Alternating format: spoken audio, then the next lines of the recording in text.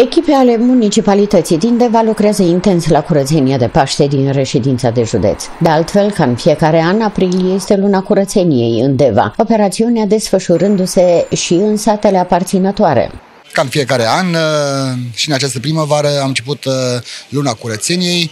Uh, este o campanie la nivel local, fiecare stradă din fiecare cartier, inclusiv din satele aparținătoare, sunt mașinile salubrității care spală, curăță în așa fel încât odată cu apropierea sărbătorilor pascale să fie un oraș cât mai curat.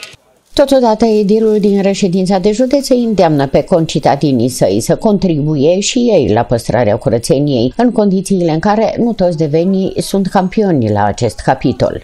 Pe aceste cale uh, le mulțumesc devenilor pentru înțelegere și îi rog, de asemenea, uh, fiecare dintre noi și eu și dumneavoastră și toți devenii să și păstreze. În marea lor majoritate păstrează, dar totuși am constatat că sunt și persoane care uh, la partea de curățenie, n-aș putea spune că uh, sunt uh, ireproșabili.